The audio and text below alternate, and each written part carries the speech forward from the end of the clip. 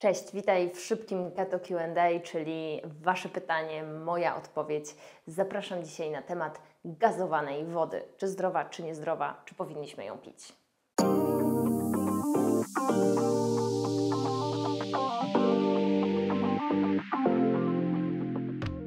Często mm, okazuje się, że jeżeli chcemy zadbać o swoje zdrowie, to musimy wciąż zacząć od podstaw, czyli od tego, żeby pić więcej wody. I tutaj pojawia się pytanie, czy mogę pić wodę gazowaną, czy jednak lepsza będzie niegazowana.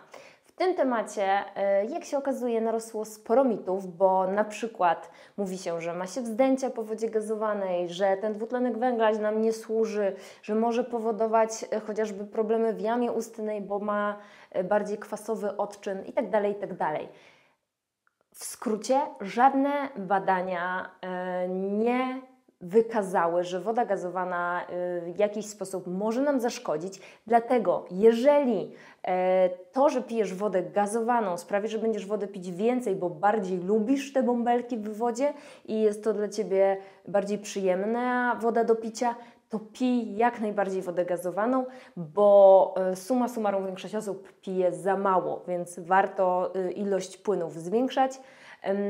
I teraz oczywiście, e, jeżeli mówimy o samej wodzie gazowanej, bez żadnych dodatków, to tak. Pamiętajmy o tym, że nieraz do takiej wody gazowanej dodawane są różne inne substancje i wtedy jest problem. Ale jeżeli to jest czysta woda i masz do wyboru gazowaną bądź niegazowaną, to wybierz po prostu według swoich preferencji.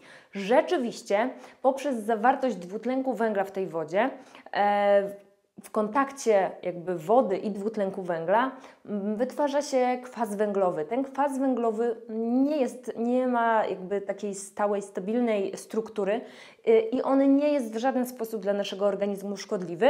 Mm, ta woda gazowana może mieć troszkę niższe pH niż e, woda niegazowana, ale to nie są po pierwsze bardzo duże różnice, bo to jest pomiędzy 5,5-6,5 pH a wciąż jakby też jest ten mit, że musimy mieć wszystko od się odkwaszać, odkwaszać. No nie, ja nieraz mówię, że żołądek wręcz powinniśmy dokwaszać, więc wręcz taka troszeczkę mm, woda o troszkę niższym pH może e, sprawić, że to trawienie w Twoim żołądku będzie lepsze, chociaż tak czy inaczej, jak chcesz wspomóc swoje trawienie, to nie wodą gazowaną, a wodą z octem jabłkowym, bo to potrafi, pomaga obniżyć to pH żołądka, jeżeli jest za wysokie.